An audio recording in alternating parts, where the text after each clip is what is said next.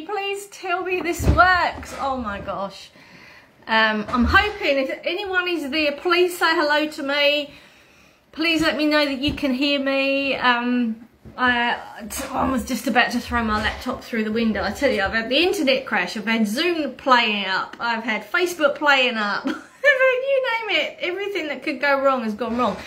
Um, and I'm hoping that my phone won't do something weird either. So, whoever's there, hello. Please, please let me know in the comments um, if you can hear me um, because I have been known to talk for an hour on mute um, and that would be terrible. So please just let me know. Comments will come up. Sometimes there's a bit of a lag, but at least I'll know that I'm not talking to myself. So over the next five days, I want to talk to you a little bit about nutrition and menopause. And I want to cover Yay! Hi, Ivana. We can hear. Thank God for that. so, um, I want to talk about nutrition because nutrition is really, really, really important during menopause. And I want to talk about the time leading up, the perimenopause that can start in the 30s. Menopause, if menopause is technically 12 months, one day after your last period, but we use menopause as though it's an umbrella term. So I really want to talk up about the period leading up to menopause, that kind of weird year where you might not have a period, but technically you aren't necessarily menopausal until you've had 12 months and one day, because you can bleed after 11 months, that's always fun. And then also postmenopause. Now there are some key foundational nutritional recommendations for everybody, all women particularly. That doesn't matter what stage you're in um, which I'm really going to talk about today and tomorrow. And then, um, so I'm going to talk about gut health today and why that's important for hormones. I'm going to talk about liver health tomorrow. Then I'm going to talk um, about something called like specific plant nutrients, and in particular, what we call um, phytoestrogens. I want to talk about those. And then um, on Thursday, I'm going to talk about fasting um, in menopause and the differences between perimenopause and postmenopause. Uh, very little research, but there's a little bit coming through, and so I'm going to talk about my take on that. And then on Friday, I want to talk specifically about, okay, so I want to give you a chart that says if you're perimenopause, these are the foods, the nutrients that are really important if you're kind of that menopause, post-menopause, this is what's really important because your, your needs do change. Your symptoms might change. Um, so this is what's important. If you're in, in menopause not bleeding, if you're perimenopause still bleeding, and if you're post-menopause when um, there are other issues to come. But, but it's going to cover the basics as well. So hopefully by the end of it, I won't confuse you too much. I won't talk too much. And that you'll have some really good tips. Now, I had wanted to share a little PowerPoint with notes, um, which I can't do because of internet and Zoom and Facebook, and I, I guess um, the gods don't want me to. So I'm going to talk to you on my phone, but I have put in a handout with the slides. So all of the information that you need are in the slides, and I'm going to do that for the rest of the week. I'm going to try as much as possible to give you lots of like charts and, and um, recipes and, and things that you can take away and, and that are useful and practical as much as possible. So to start with, I want to talk about why um, why is gut health particularly important? Because today I want to talk about gut health and it's a massive topic and I will try very hard not to talk too much and to bore you, but gut health is really, really important. It doesn't actually matter whether you're perimenopause, menopause, post, it doesn't matter. It's really important for women um, because it, it has such an impact on our hormones. So estrogen, which is one of our main female hormones, is really, really important for gut health. Um, and there's been some really interesting research to show that, that estrogen can prevent gut conditions such as reflux, um, esophageal cancer, ulcers, stomach cancer, inflammatory bowel disease, IBS, and colon cancer.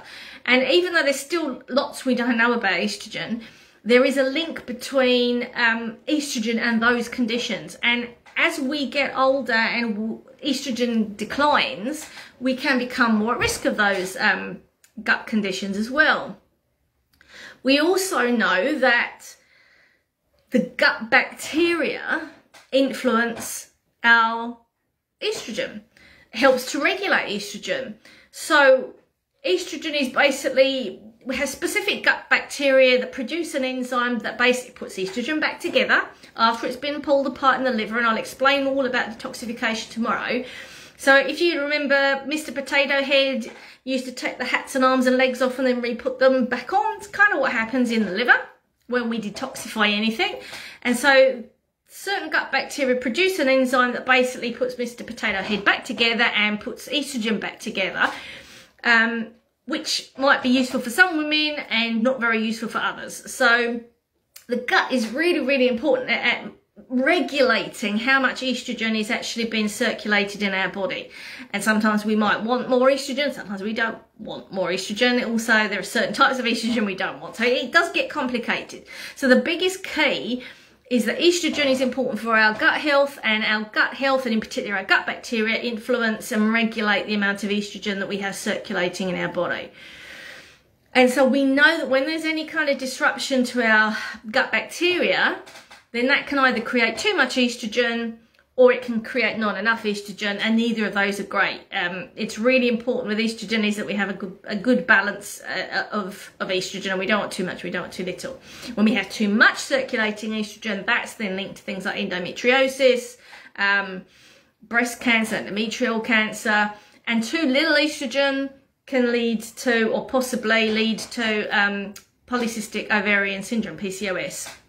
We also know testosterone is really important for gut health. That also helps to maintain motility um, in the colon and gets food moving through, reduce, reduces pain in the digestive tract, decreases inflammation in the gut too, reduces the effect of, of too much cortisol in the gut. Cortisol affects our gut health um, and may protect from um, inflammatory bowel disease as well. So we know testosterone is really important. We, we make a little bit of testosterone, and that is also mediated by our gut bacteria. So you're starting to see how having a healthy gut is so important. So we don't want an imbalance of gut bacteria, what's known as dysbiosis, because if we have low variety of gut bacteria, if we have too much of one type and not enough of another type, then that can create inflammation in the gut and that can then really impact our hormone balance, which is really, really important and has been linked to lots and lots of um, hormone imbalance type conditions, such as the ones I've just talked about. So it's really, really important that we take our gut health seriously. So there are three things that I think are really, really important for our gut health. One is to make sure that we get enough fiber. One is to make sure we're eating prebiotics and one is our probiotic food. So I'm going to talk about those three things. So fiber is really, really important. And fiber is what we get from plants. So you'll see this is why I bang on about plants. So fiber is really, I'm just going to move my phone a little bit. Um, fiber is really, really important for our gut health. It's important for our heart health. It's important for our hormone balance, for cancer prevention, and also weight management. And we know from surveys that have been done in lots of countries around the world, including New Zealand, we just don't eat enough fibre. So there's three different types. There's what we call soluble fibre, we've got insoluble fibre, we've also got something called resistant starch, which is kind of a prebiotic, our gut bacteria kind of feed off of it. And we know soluble fibre, soluble fibre has been shown to lower blood uh, cholesterol, slows the absorption of glucose into the bloodstream. So really important to prevent things like diabetes and protect our heart. Um, insoluble fibre is a bit like a broom for our bum. Uh, that helps to prevent constipation. It helps to prevent um, inflammatory bowel disease, um, irritable bowel syndrome, small intestinal bacterial overgrowth, appendicitis, diverticulitis. 35 grams of fibre has been shown to reduce colon cancer. Um, it's also really, really important. It, it you know, it can um, prevent uh, heart disease from occurring, which if you are postmenopausal, you are at much higher risk of getting. So this is why it's so important to look after your gut to prevent those conditions later in life. Um, as I said, it can help to prevent things like diabetes. The gut loves fibre. It needs fibre in order to function properly. 35 grams a day has been shown to reduce colon cancer. Um, it helps with um, weight management as well because it will absorb water, it creates a feeling of fullness, it delays hunger. So you're not getting the high amounts of energy that can increase our weight, but we're feeling full. So that's really good and we're less likely to snack. Really, really important for hormones because it binds to estrogen and then it helps to remove it from the body when it's in high amounts and we don't really want it. Um, or not even estrogen that we make. We can take in estrogen from outside us with our perfumes and our cleaning products. There are so many chemicals that mimic estrogen.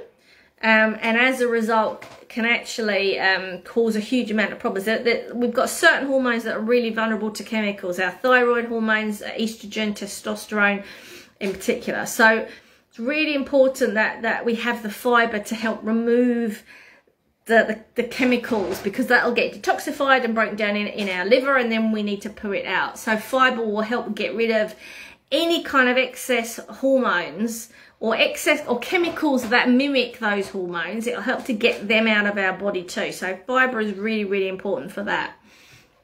So where do we get fibre from? We get it from, so soluble fibre, um, which is what's really important for lowering our cholesterol, our glucose, helps to kind of move food through our guts a little bit more slowly. It can soften our stools. Really important for um, our, our lower gut, our colon to, to be healthy. And we get that from things like um, barley, oats, oat bran, rye, apples, citrus fruits, prunes. I love prunes. Kiwi fruits, fantastic. You're going to get your vitamin C as well as your soluble fibre. Your beans, your legumes, any kind of seeds, um, you want the husk on your grain, so like um, your bran. Psyllium is a really good form of it, and, and vegetables, particularly, um, you know, the, the apples are fantastic. Anything, the fleshy part of fruits and veggies are really, really, really um, rich in soluble fibre. And then your insoluble fibre, so that in, increases your, your stool weight, it helps to move your, the waste through and it provides that feeling of fullness and and that's really important too. And both of them are, are really important for our gut bacteria. So you get insoluble fibre from things like brown rice from anything that's got the brown or the husk on. Um, fruits again your beans um, your cabbages, carrots, Brussels sprouts, wheat bran, whole grains, flaxseed, psyllium. So a lot of the plant, basically plants, if you're eating plants and you're eating a whole plant, the skin and, and the, the middle part, um, and it's not refined, you're going to get the soluble and the insoluble fibre, and they're both really, really, really important for our gut health. Resistant starch, things like um, slightly greener bananas, really important for as resistant starch, and then things like potato salad, if it's been cooked and cooled, the potatoes, again, really good for the gut, and the same thing with rice, cooked rice and then cooled rice, cool it in the fridge. They don't cool it outside, otherwise you get tummy ache. Um, and having rice salads, so potato salads and rice salads are really, really important um, form of resistant starch as well. Again, really important for the um, for the gut. Where do you get fibre from? So um, some other ideas um, about the amounts in particular. So as I said, eat plants. You're going to get fibre if you eat plants. Uh, just 100 grams of rolled oats will give you about 10 grams of fibre, and you're aiming for around 25 to 30 grams of fibre a day. So it doesn't take much. You know, a slice of rye bread or sourdough bread, you could get about 2 grams. Most fruits will contain about 2 grams of fibre. Most beans and legumes contain up to 6 to 8 grams of fibre. Um, and I think you get about five grams of, of fibre for like half a cup of ch cooked chickpeas. So it's it's if you're eating lots of plants throughout the day, it's easy to get your your fibre content. It's just we don't eat enough plants. If you're looking at processed foods, then look on the label. When you look on a label, look for where it says don't look per serve, look per 100 grams because that's much more realistic um, thing to look at and get an idea because we don't always eat what the serving is and you're looking for anything that's got more than five grams of fiber per 100 grams, then again, you're kind of in the right place. So you're aiming as much as possible. You can get apps where you can follow what you eat, Easy Diet Diary. Um, I think there's like the Fitbits have like nutrition apps. There's, I can't remember at the top of my head, menopause brain, but there's loads of different apps where you can actually track what you eat. And so really track up to 30, 30 grams of fiber a day is what you really want. Um, then you know that you're you're doing really well. If you're not into tracking apps, then actually 30 plants plus a week, you will get fiber easily. Um, and I'll talk more about that later on. So I've kind of talked about 25 grams is the recommended daily amount. Um, up to, to 30 to 35 grams, depending if you're in New Zealand or Britain. I think Britain has slightly higher, um, it's up to, it's only 30 grams. I think 35 grams is the recommended amount to prevent colon cancer in New Zealand. You don't want to have too much. So 30, 35 grams is a good amount. If you go crazy, then it can actually bind to minerals and stop you absorbing your minerals.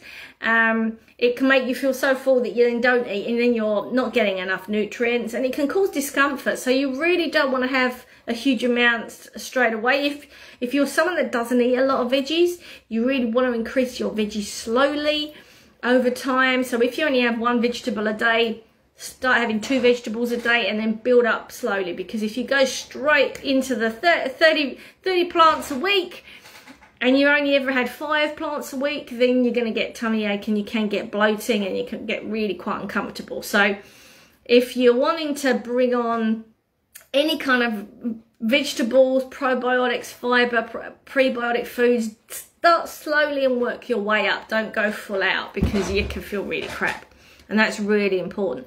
And it's also really important that you drink water because that will um, that can actually help um, so that you don't get kind of plugged up with the fiber. So increase slowly over a period of a few weeks. Allow the gut to adapt if it's not used to having fiber in, in your diet drink lots of water in order to soften the fiber Getting fiber from a variety of sources is really important. Try not to rely on supplements for fiber if you can. It's much better if we get it from food. Um, and again, if mineral, if, if you know you're not getting enough minerals, then just start slowly and build up. As you increase your plants, you will increase your mineral content. Eat fruits and veggies with the skin on where you can eat whole grains that have not been processed to death. Um, that would be better. Um, and your, your nuts and your seeds whole. And then add beans and legumes to your soups and your stews and your salad. So, you know, when you have a salad, think of adding some black, black beans or some kidney beans or some chickpeas. Um, if you struggle with beans, I, I know I do, then I find only having one bean at a time can help. And sometimes having it, um, as a paste like hummus, I'm okay with hummus. I'm not great with chickpeas. Um, a little bit of chickpeas, okay, but if the minute if I'm if I had a bean mix, I'd be in agony. So I I, I tend to go for hummus and I add hummus um, and mix that in rather than having just chickpeas. I'm okay with black beans, so I'll just have a small amount and I'll just add that. And I don't have big bean mixes, and I find that that's um, that's doable. So again, you're going to play and it might be that blitzing it up and having it almost like a, a type of hummus, black bean, bean hummus or cannellini bean hummus is actually really tasty and that sometimes can be more digestible than the actual full bean. As long as you're blitzing it all up and eating it, you're still getting the fibre. So prebiotics. So prebiotics are basically substances that support the the actions of probiotics or they provide a fuel source for beneficial bacteria. They're not actually food. Um, bacteria don't eat them, but they ferment them and that then produces um, things that are really beneficial for us. So they support the actions of our gut bacteria or, or probiotics. There's lots of emerging research to show that it can be beneficial for the gut, the heart, our mood and our brain, our bone health, our immunity and our inflammation. So again, this is important regardless of whether you're perimenopausal or postmenopausal. If you're postmenopausal, you are at much higher risk of heart disease and, and, and um, osteoporosis, arthritis, you know, all those kind of bone, bone um, conditions. So prebiotics are really important, but actually it's better to have it earlier on than when you're in postmenopause. So it should be something that you have all the time, regardless of what age or stage you're, you're in as a woman. But if you're postmenopausal and you don't have prebiotics, it's it's worth considering bringing them in your diet along with the fiber because it will have a huge impact on your heart and your bone health in particular. And as I said, immunity, inflammation, all of those things really important. So again, in your slides, you'll see the notes. There's actually a chart that talks about the different prebiotic foods. So have a look at that table And you can pick things as long as you're having something there every day. You're going to be getting prebiotic food. So whether that's your potato salad or bananas or cashew nuts or lentils or whole grains, if you can tolerate garlic and leeks and onions, um, which I know not everyone can. If you've got gut issues, sometimes they can be a problem. It might be the garlic oil is better than having um, full garlic. Flax seeds, vegetables, fruits, berries, uh, bitter chocolate contains polyphenols, and polyphenols are prebiotics. So your cocoa, chocolate, berries, um, stone fruit. I love stone fruit. Um, so there's lots of things that you can eat every day doesn't mean you eat chocolate three times a day, but having a little bit of chocolate now and again is actually really good for your gut. So um, have a play, have a look at that chart of prebiotic foods and just play around and make sure you're getting something every day that you know is a prebiotic food and you're on your right track. And just remember, plants can a, a prebiotic, okay? A steak is not prebiotic. I love steak. You want to make sure you're having your vegetables and your plants alongside your steak and then you'll be fine. So now I want to talk to you about the bacteria in our gut bacteria. So they are really important because they actually produce some of our vitamins, our B's and our and our vitamin K, which is really important for our heart and bone health. Hello, postmenopausal women. Um, they actually help to break down food, specifically, especially protein. And we need more protein as we get older. So on Friday, I'll talk a little bit more about what, what our needs are as we get older. It helps with the production of bile, which is really important for the absorption of fat and also the removal of waste. Helps with our, our liver function and our detoxification. It can help prevent allergy. So sometimes if we have, sometimes you'll find that you suddenly hit that perimenopause, menopause stage and you've become more allergic to anything and everything, not just food, it could be anything. Um, I would say the gut is where it's really important because if you have dysbiosis, this imbalance of gut bacteria, that can actually exacerbate and drive allergies. So again, really important. It controls the pH of our gut, which protects us from uh, bacteria and viruses that are going to make us sick and also cancer. It keeps the bad bacteria in check. Very important for reducing inflammation, which drives so many chronic health conditions that can affect us when we're postmenopausal. Helps to regulate our immune system hugely linked to our, our mental health and our brain health, linked to many chronic conditions. So we're really just only touching the surface at how important our gut bacteria is. And I say gut bacteria, we also have some really beneficial yeasts. Um, and other microorganisms. So when I say bacteria, isn't just bacteria, it's actually lots of different microorganisms. Most important thing is, as I said before, our gut bacteria regulate our hormones, particularly our estrogen and testosterone. So you want to have a healthy gut bacteria in order to have healthy hormones. If you have any kind of imbalance in your gut, it's going to affect your hormones. Um, and actually also our thyroid hormones, not just our, our reproductive hormones, but hugely important for all of our hormone balance, including insulin and lots of other hormones. So things that can affect our gut bacterial balance our diet so we can control that. Our stress if you are hugely chronically stressed you will impact your gut bacteria and not for the not for the good. So it's really important that you manage um, your stress levels. Find a way to to become more resilient and, and to manage your stress whether that's breathing or reading coloring in being out in nature moving your body whatever it is it doesn't matter but getting a handle on your stress and feeling like you are in control is really important because that will affect your gut bacteria and it will affect your gut health and your hormone health. Medications will also affect your gut bacteria. It's not always easy to manage that. So that's why what you eat and how you live and your movement, that will actually counterbalance what goes on in, with your medication. And I'll talk about the importance of the liver tomorrow and the liver is very important for that and alcohol. So alcohol will definitely affect your gut bacteria balance and alcohol will basically will, will actually affect your estrogen levels as well. So again, I'm going to talk more about this tomorrow and talk about the liver. So the things that you can manage is your, your the amount of alcohol you have, how you manage your stress and what you eat make a massive difference to your gut bacteria. So one of the ways we do that, we've obviously talked about fiber, which is really important for our gut health. We've talked about prebiotics, but probiotics are really important too. And for me, it's more about probiotic food. So probiotics are basically substances that stimulate the growth of microorganisms within our gut, especially those that are beneficial. So your gut bacteria and your gut yeasts that are beneficial. And the way we get pro probiotics in is through fermented foods, fermented dairy foods and fermented non-dairy foods. I'm going to talk about those in a minute. And also freeze-dried powders. So that's in the form of a capsule or it can be um, powder. And that doesn't have to be live bacteria that's been capsulated. We've also seen some um, research where um, the bacteria, in particular the bacteria, is actually dead, but it's still producing effects that are beneficial in our body.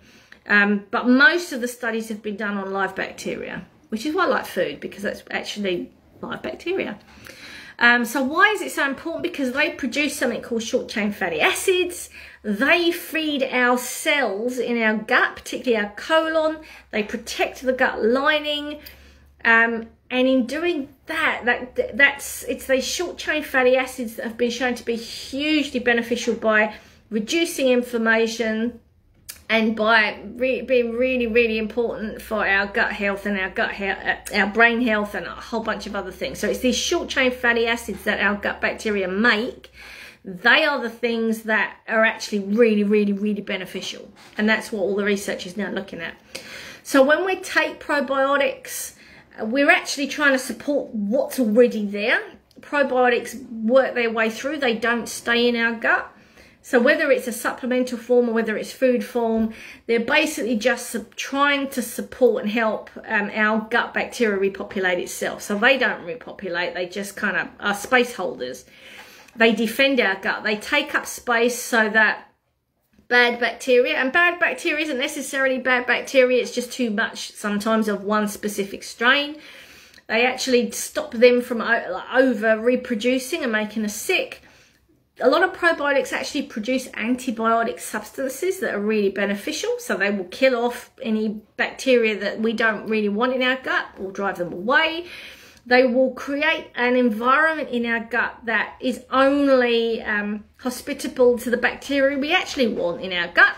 Sometimes they actually steal food from the bacteria um, to stop them from replicating and they work as a team so they almost they provide intelligence and surveillance information for the bacteria that's in our gut that we want the problem with buying it in in a supplemental form is that you don't want probiotics that have got 500 different strains in because they don't all like each other so sometimes even if it's good bacteria they will kill off other good bacteria by poking holes in them or by starving them by stealing their food so you really want strains that you know have been researched and that do actually like each other. So more is not better necessarily. Um, you do have to be careful if you're having fermented foods or probiotics. Uh, you can have too much and that can create issues. If you have something like small intestinal bacterial overgrowth, you'll find that you'll actually get more gut symptoms. So you do have to be careful and it's really important to start with small, small amounts and work your way up because you don't want to have too much. Um, if you were going to take supplemental probiotics, then that's better if you really don't have a good diet, if you are chronically stressed, if you're taking or have taken probi um, antibiotics and really you should be taking probiotics for a good six months. Don't take them just one bottle and that's it. It's not enough. It needs to be at least six months to actually to take up space and allow your good gut bacteria to repopulate. If you routinely take things like paracetamol, antidepressants, steroid medication, because they do affect our gut balance, that's a really good time to consider taking probiotics in supplemental form um, or if you have irritable bowel syndrome or inflammatory bowel disease or diarrhea, it might be worth considering taking a probiotic. If you're run down, if you're getting frequent infections, if you've got allergies, then again, it might be worth considering it. There's some emerging research about obesity, inflammatory joint disease, diabetes, mental health disorders, and specific specific strains in probiotics. So come and talk to me about that if that's something you're interested in. what I think is really, really important is that when we're going through perimenopause and menopause and postmenopause is that we look at fermented food. So as, alongside our fibre and alongside our prebiotic foods is to increase our fermented foods. Every culture in the world has some kind of fermented food. And when we have the standard American diet, the SAD diet, we don't tend to have it. And that in itself is not necessarily beneficial. So it's really important that we look at trying to get some in our diet. So that could be fermented dairy. If you're okay with dairy, then that's when you should be trying to find ways to get fermented dairy in your diet. And it might be that you can't have cow's milk, but you can have fermented dairy. I know for me, I can actually manage a little bit of fermented dairy. So that's yogurt, basically. It's really easy. Just make sure that it's plain yogurt. You also want to make sure that it's got bacteria added. You don't just want the bacteria that turns it into yogurt and makes it sour. You want ones that, that have got the extra um, bacteria added too. So that's your lactobacillus acidophilus and your bifidobacterium. Look for that. So yogurt's really important. You can get fermented um, dairy in the form of kefir which again is really beneficial. There's some been really interesting research just done on kefir that shows that it can be really important for gut health, heart health, bone health. Cheese is actually a form of um, fermented dairy. Don't want too much, just a little bit. And again, if only if you can tolerate it. And you can also get fermented butter. So this is when you're looking for cultured butter. So again, it's not that they've had, they, they, they've actually added the bacteria to make it slightly sour um, and then that's also um, a form of fermented dairy. You've got fermented soy, which is really important because that makes something called, um, well, soy has something called phytoestrogen as part of the soy. And when it's fermented, it actually makes it more available to us. So I'm going to be talking a lot more about that on Wednesday. So that's your miso, your tempeh. I think tempeh is kind of gross, um, but I like miso. Um, tamari, I love. That's also gluten-free um, and natto, which is kind of too. But some people love tempeh and natto, and if you do, fill your boots. If not, miso and tamari are really good. Um, forms of fermented soy. And then your fermented vegetables. Again, I love fermented vegetables. This is your kimchi, which is sl slightly um, slightly fiery. It's got chili in it. And sauerkraut, which is your cabbage. I love red cabbage sauerkraut. That's really good. And the cabbage juice, just having a little a little bit of the cabbage or the juice in the sauerkraut is really good for your gut. And dill pickles. Um, if you look at the slides, I talk a little bit about um, how to um, how to ferment the ratio. And there's a recipe book I've put up that's got in there about how to make sauerkraut as well. It's I have actually made sauerkraut and kimchi. I've completely cocked up kefir. Um, but fermented veggies are really easy. Kombucha, I love kombucha. I've tried to make it. I cannot make it fizzy, um, but I love buying it. So this is basically um, black tea or green tea that's been fermented. Um, it does, the yeast, basically the yeast and bacteria do turn the sugar into alcohol. Um, it turns it into also carbon dioxide, which is where you get your fizz from. Um, some of the bacteria actually can convert the alcohol into that kind of vinegary taste, the acetic acid. But there is some small amounts of alcohol can remain. And there's lots of live bacteria still in the kombucha as well, which is really cool. Um, I know people that make it and it's fantastic. Do I have a preferred um, br branch of kombucha? My brand preferred.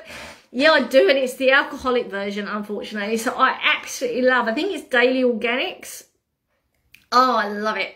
Um, it used to be you could buy it from New World and, and um, you could buy it from the supermarket and then they actually had a look at how much alcohol was in the kombucha and there was quite a bit. I think it's only 4 or 5%. It's not massive, but it's enough to be considered alcohol. So then they took it off the shelves. Um, and I think now it's coming back into some of the New Worlds. Um, I have to, where I live out west, I have to go to Boric in Kumeu and I can buy it there. And it's in the alcohol section. That's probably why I liked it so much because it tastes, to me, it tasted really hoppy. It tasted like beer. So instead of alcohol, I was having that. Was obviously still drinking alcohol, but to be honest, the alcohol amount is still tiny compared to having beer because I think it's only four or five percent. Yeah, typical of me, but I still think it's the nicest tasting kombucha. The, there's there's lots of different kombuchas out there. I find to me, it's almost like drinking pop, but it's going to have less sugar than pop. But I, the best form is making it yourself, but I'm crap at it. It just doesn't work. It just tastes to me like vinegar. So I do buy my own kombucha, but I absolutely love Daily Organics, and I just have it instead of alcohol. I have, a, I don't have masses. I put it in a wine glass. I drink it like alcohol, and I know that it's going to be better for me than alcohol, and I absolutely love it. So that's my favourite form of kombucha. So have, have a glass on me. Know that it's a treat. Um, Apple cider vinegar is actually a fermented food. Um, it's basically crushed apples that they add yeast to the crushed apples. That ferments it, um, ferments the sugars, and that turns that also slightly into um, alcohol. Then they add bacteria to it to further ferment, and then again it does the same thing as the kombucha. It turns the alcohol into that acetic acid, which is what's found in vinegar.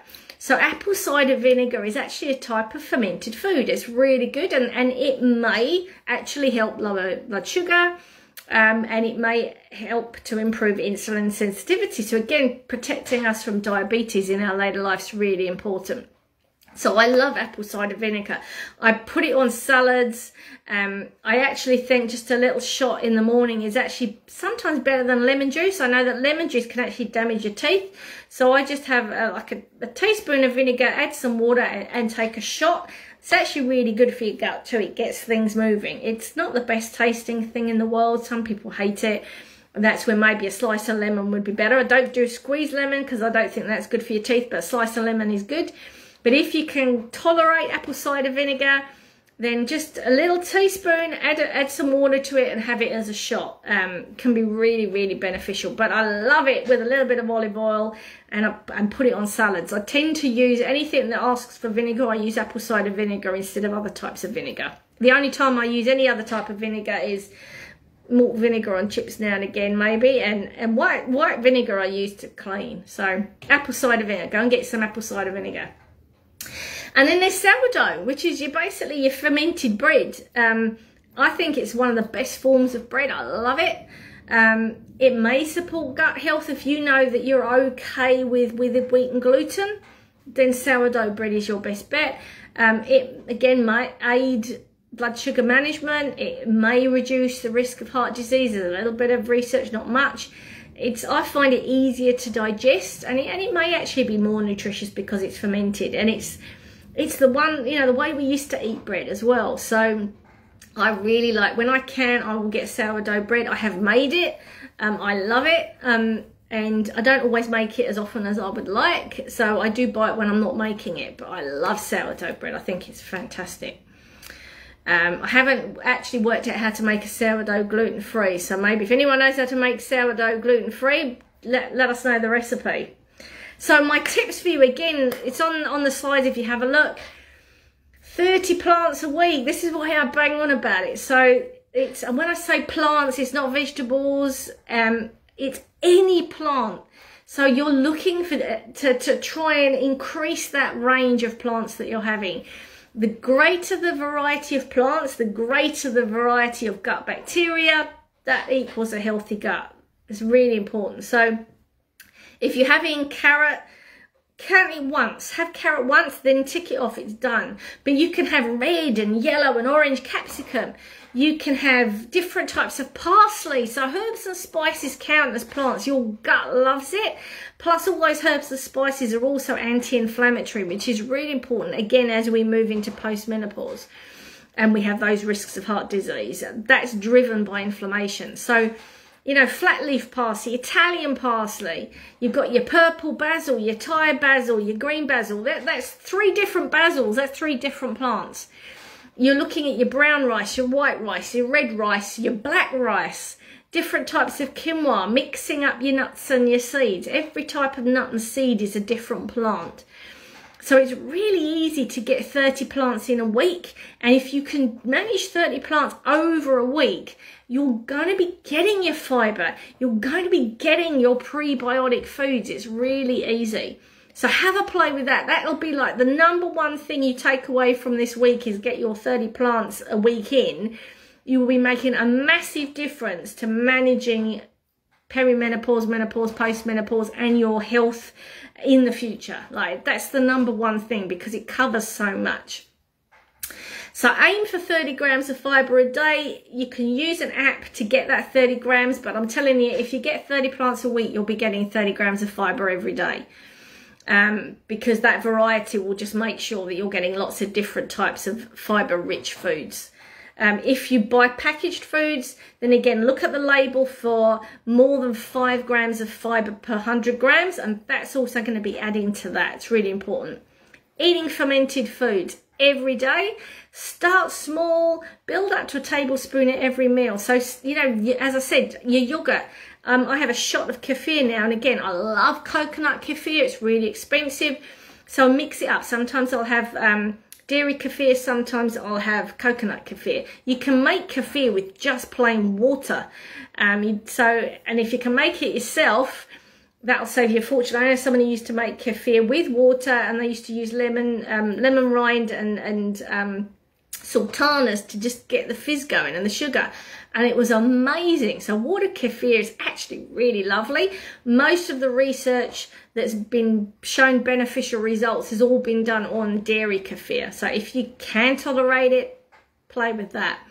But the sauerkraut, kimchi, have you know when you're having a having a lunch, have a, a little bit of a sauerkraut if you can. You can have your yogurts and your kefirs for your for your breakfast. You can have the sourdough bread for your breakfast.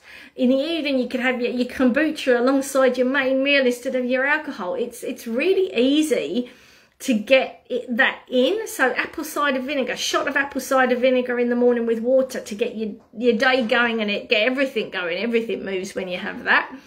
Um, you know, adding apple cider vinegar to your salad at lunch or um, adding a little bit into your, to your soups and your stews and your dinner in the evening, you're still going to be getting, you, it won't kill the minerals. You can still, still, you'll still get something from it. So it's really easy throughout your day to add a little bit of fermented food. But as I said, start, start small, small, small, build it up and just see how you manage it. So if you could do those things, if you can, uh, you know, have 30 plants plus a week, if you can make sure you're getting enough fiber every day, if you're eating fermented foods every day and you're drinking lots of water alongside that, then you're already halfway there to having having hormone balance because of how our gut interacts with our hormones and our hormones interact with our gut, you're halfway there. So I'm hoping that I haven't talked too long, I haven't bored you, that you've got tips there you can take away. As I said, doesn't matter if you're perimenopause, in that menopause kind of window, or your post-menopause, gut health is massive regardless. So this is your foundation. Doesn't matter what stage you're at, this is your foundation. Tomorrow, I'm going to talk about liver health. I'm hoping that Zoom will work tomorrow. If it doesn't, again, I'm just going to put the slides in to the group. Um, and I think I've got some recipes for you tomorrow as well on liver health. Um, think I've got a smoothie or a juice or, I don't know, tea. I've got a few things that, different ways of supporting your liver. Again, really, really, really important, um, regardless of whether you're peri, menopause post liver health is really important and goes alongside that gut health so this is your the next two days this is your foundation regardless of what stage you're at so that's tomorrow and I think that will be at five tomorrow as well live at five tomorrow so let me know ask questions let me know if this has been helpful please tell me in the group what your key takeaways what did you learn that you think right that's what I'm going to work on this is really important to me. This is what I'm gonna, this is gonna be my, my goal to myself over the next couple of weeks. Let me know what that is. i love to know that. Um, if there's any fermented foods, prebiotic foods, anything like that that you think that's been beneficial, beneficial for me, please again share that in the group so we can all learn from each other. So have a fantastic rest of your Monday night. I need to go. Uh, what's the time? Six o'clock. Oh my God. Got to go and have dinner and then I've got a meeting at quarter past six. So have fun, enjoy your Monday evening. Please let me know what you what you got from this and what your takeaways are. Have a fantastic Monday, and I hope I haven't talked too fast. Had a lot to get through.